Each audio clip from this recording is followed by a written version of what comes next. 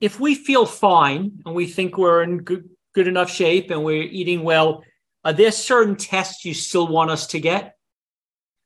Medical tests? That's, yeah, that's a great question. You know, if um, and, and my my answer to that, what I'll say is this: my answer to that is evolving. So here's what I, what my answer today is. The answer is yes. Uh, if we let's say we're eating a healthy, raw plant-based diet, we're exercising, sleeping well, we're managing our stress well. Um, we are all still in this toxic environment. You know, we're all living in earth, we're breathing this air, we're, we're consuming water. You may go on vacation and stay in a hotel and shower in the hotel water. You, you have the chance of being exposed to toxins on a regular basis. So, having said that, we tend to recommend our clients get basic blood tests. We look at kidney function, et cetera, but we also recommend micronutrient deficiency testing. Um, we also recommend, to a certain extent, measuring for toxic metals that may be in the blood. Uh, we plan to start measuring for xenoestrogens uh, that may get in the blood periodically. So, understanding the level of toxins that you're exposed to, even though you're feeling well, you're healthy, uh, I think can be beneficial because you know you can monitor that and then you can do certain things to to uh, reverse those things certainly re- re- reduce your exposure to them. Uh, and so you know if you have a lot of glyphosate in your your system uh, you may want to look at the plant foods that you're exposed to and make a change get locally grown et cetera. So there are a lot of things that you can do uh, by just simply monitoring the amount of toxins in your blood. So that's i think would be a great health practice um, if you would like to ask a question, please raise your hand. Um, Dr. Montgomery, um, do you have any nutritional supplements that you feel like we should be taking? What we find in our practice on a fairly regular basis is uh, magnesium deficiency, in which we recommend, of course, you know, being a cardiology practice, and we see patients with all sorts of ailments uh, but certainly people with cardi- cardiovascular disease may come in with arrhythmias or symptoms of arrhythmias. They come with high blood pressure. So we measure RBC magnesium. We try to get some idea of the, the tissue level of magnesium. Uh, and so we see a fair amount of magnesium deficiency because we're looking for it. We see a fair amount of vitamin D deficiency. We're looking for it. Uh, so vitamin D, magnesium are, are, are, things that we supplement a fair amount. Uh, coenzyme Q10, certainly with our heart failure patients um, and and you know vitamin C. Much of that you get from your foods, but sometimes we'll use that in a target supplementation as well as curcumin. Uh, we have a liposomal curcumin that we use uh, for a lot of our patients with systemic inflammatory conditions, uh, arthritic conditions, and the like. So we use them in a target fashion to help early on with symptom relief, and then we optimize their nutrition and then you know and then we'll fine tune the supplements that we may recommend based on micronutrient testing or or or based on toxins that we measure or the like. Okay mona would you like to ask a question and where are you from? Yes i'm from savannah georgia. And i have had a i have a question about svts for one thing but this is in regards to it. My sleep study was done prior to going whole food plant-based and um, it was done without my CPAP on. Since then, I've been going. I've been doing whole food plant based strictly without um, alcohol, oil, salt, liquid oils, and salt. My concern is should I um, follow up on the, and it was a very short blip of SVT. Should I follow up on that? So during your sleep study, you had a short run of a supraventricular tachycardia. Mm-hmm. Uh, they say short run it was short enough for them to count the beats. It was like a minute or ten beats or something like that. Did they? According to the report, it, it looks like it was enough to count the beats. Okay, you know it's it's it's hard to say in general. What I tend to, to tell my patients is the following: is you know I always follow up on something like that, uh, but also follow, I follow up in two ways. I may repeat some cardiac monitoring not just a sleep study, but I'll just do uh, for my patient. I would do if I see something like that, then I would do a say a 21 day monitoring So a 24 hour Holter plus another, you know, two or three weeks of cardiac monitoring with, you know, uh, outpatient telemetry. So that gives me an idea of the amount of, you know, arrhythmic burden. So, so that would be important to follow up from that standpoint. Another way you follow up on the arrhythmias, look at electrolyte abnormalities, see if there's, um, you know, like I said before, magnesium deficiency and potassium, look at those electrolytes uh, to evaluate that. Then, of course, you want to look at the structure of the heart. Uh, you know, is there you know, heart failure? Is there not heart failure? So you want to, when you see an abnormality, you follow up on the abnormality by doing more testing to see, okay, is there more of that there? That's one. Then two, you follow up by looking at things that may be associated with that, may be causative agents, electrolyte abnormalities, or uh, structural heart abnormalities that may predispose someone having this uh, SVT. And SVT, again, you know, uh, that could be different mechanisms. So if someone has SVT, if I'm looking at a tracing, I'm going to say, well, is this, you know, AV nodal reentrant tachycardia? Is this concealed accessory pathway? Is this uh, multifocal ectopic atrial tachycardia? So the different mechanism of SVT and the different mechanisms will, will, will, will predispose me to think of a different underlying uh, cause. I did have a, a stress test with injection um, after that, sometime afterwards, and it seemed to be okay, except for a little leaky, you know, valve. Okay. Yeah, and those things are good. You also want to make sure that the heart overall is structurally normal because the structurally normal heart certainly is a good sign. You want to kind of look at this from a global problem. You see one small isolated problem, then would you just step back and say, okay, what's the global condition uh, of the heart itself? If the global condition of the heart is that, well, you know, stress test is normal, heart pumping function is normal, you know, no ischemia, et cetera, et cetera. You say, okay, that's all, those are all things pointing in the right direction. And so this one electrical abnormality could be due to elect, uh, electrolyte abnormality or something like that.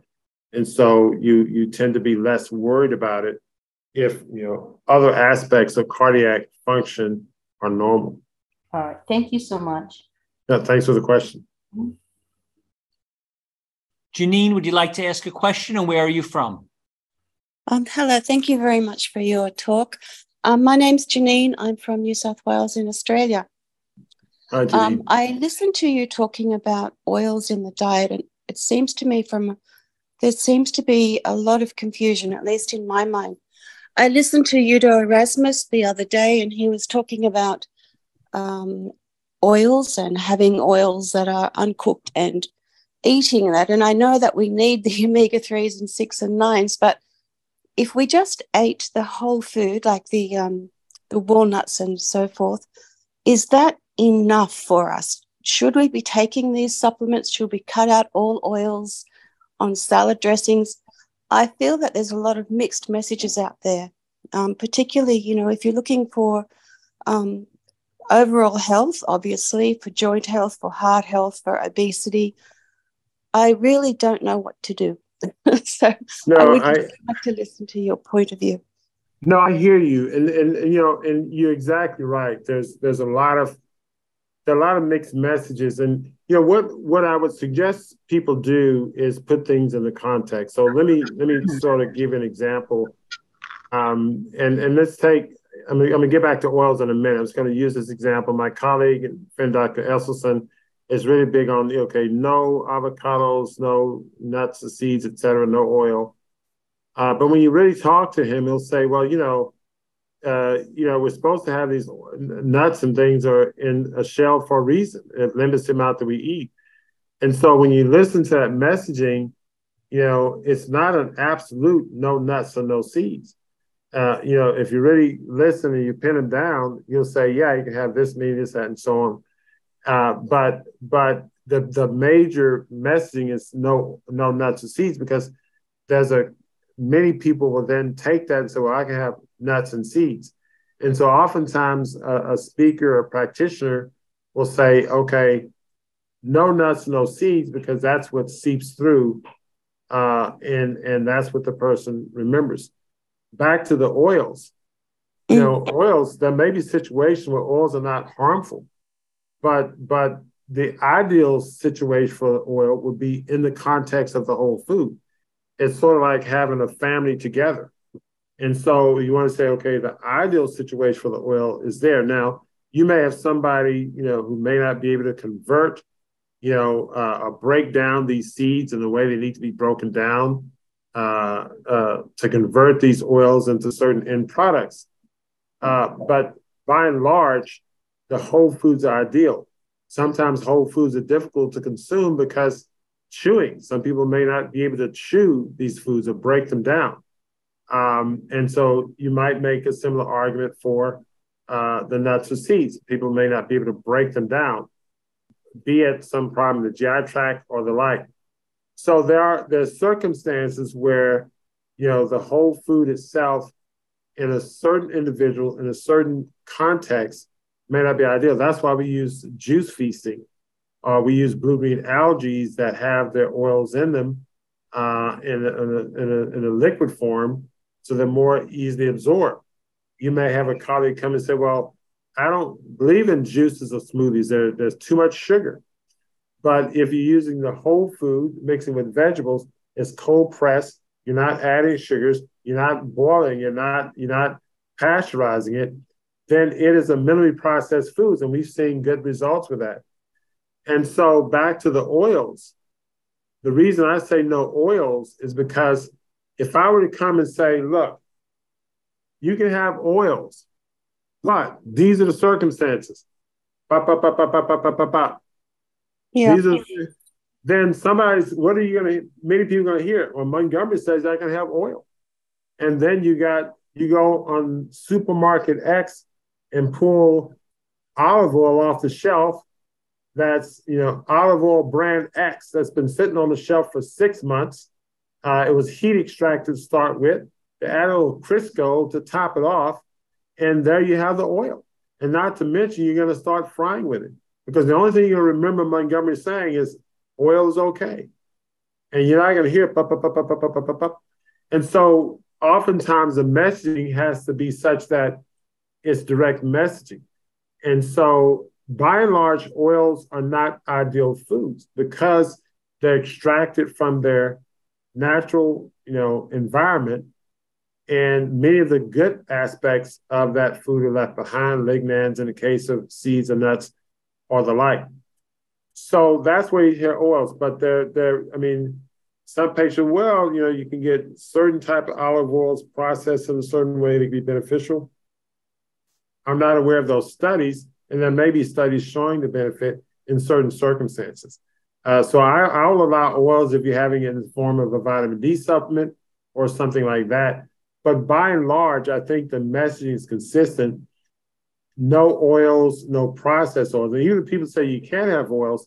If you quiz them, say, well, can I fry my vegetables in oil? I bet they would say, for the most part, no. And so that's where you get the common denominator of the messaging, right? Because it's the processing of the oil. So you hear Montgomery say no oils at all. I'm thinking of the oil that's sitting on the shelf that's been there for six months and undergoes a natural processing. And that person that says oil's okay in this circumstances are not really talking about that. And so you can find what I would suggest to find the common denominator in what we're saying. We're all saying no processed oil. But when I say no oil, I'm looking at most oils on the shelf are processed by one means or another. Thank you very much. Thanks. Hope that clears that up. yeah, sort of. Maybe it's more confusion. no, no, no. I'm not more confused. I think I'm just a little bit more annoyed at the mixed messaging that we that sort of like is out yeah. there all the time, you know, and yeah. I find, yeah. find that confusing. Yeah, the mixed messaging is there. We we all come at this in different perspectives, and we all have yeah. a different. Uh, you know, when I listen to when I listen to many of my colleagues, many of my colleagues who will say, okay, I don't recommend this for this reason and that reason. I try to get the context in which they're speaking. And and and, and it's easy for me to do that because I know my perspective, and so I get an understanding for their perspective. I'm a big uh, proponent of eating a high percentage of raw foods, and all raw if you're really sick. You can add cooked over time, uh, largely because raw foods are more healing and more healing rapidly. Now, someone else would say, well, uh, there's data showing that you know certain carotenoids in carrots are more prevalent when you cook the carrots. Okay, that may be correct. However, just because a micronutrient A is more prevalent when it's cooked, there may be other micronutrients that we've yet to discover that's less prevalent. And then that exactly. carrot may be more off balance than the raw carrot. So so even that argument can can you know be a little bit incomplete.